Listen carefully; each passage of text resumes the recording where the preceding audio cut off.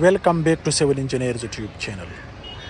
Today in this floor beam construction, I will show you some common mistakes, especially in steel structure design. So let me guide you for those mistakes in front of you. If you have any question related this short video or practical video, so you can comments, I will respond you. Guys, you can see clearly, this is end of the beam. So this beam is starting from this column, okay?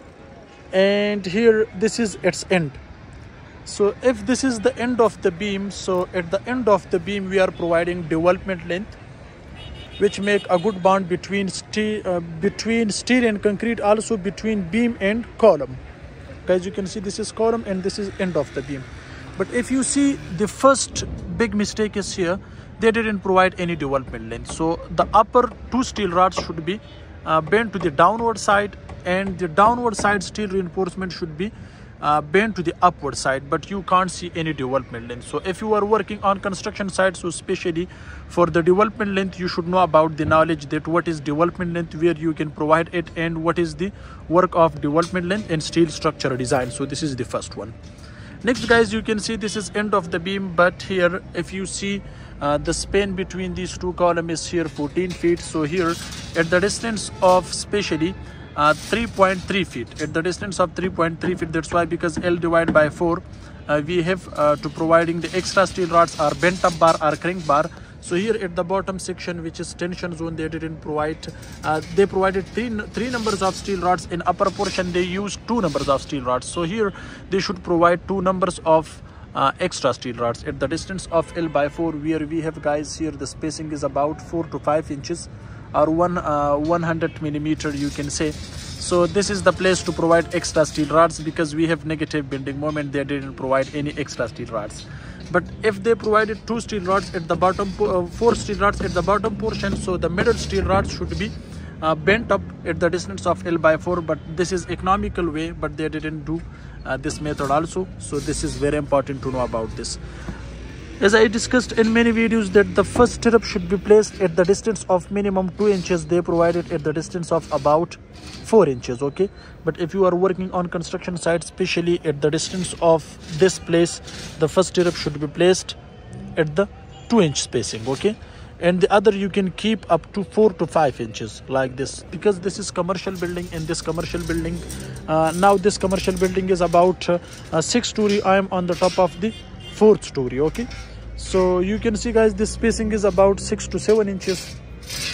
It's okay. At the distance of L by 4 the spacing is 4 to 5 inches. But they didn't provide the extra steel rods which is very helpful and very important to resist negative bending moment. If you see this side you can't see anyone. Look here. Okay?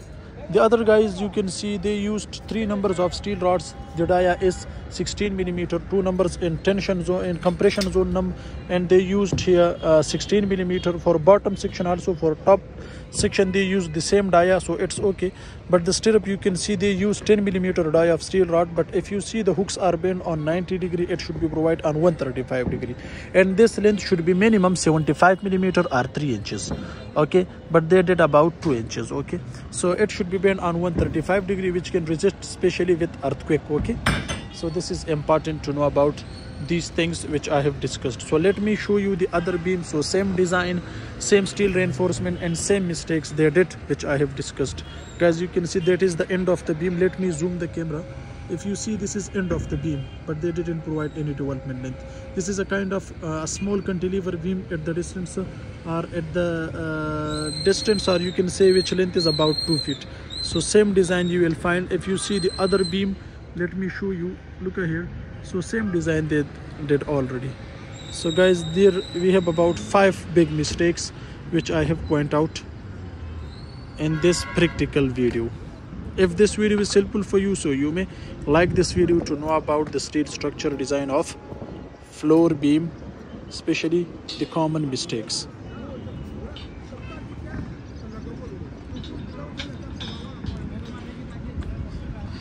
uh, before starting the video uh, I was there uh, as you can see.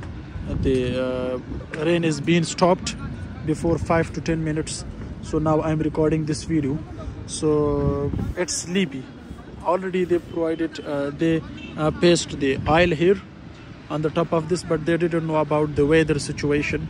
So therefore okay guys so this is a short video to guide you about uh, development length spacing of stirrups dia of stirrup longitudinal bars and the size you can see which is 12 by 18 inches with concrete cover. Without concrete cover this is 9 by 15 inches.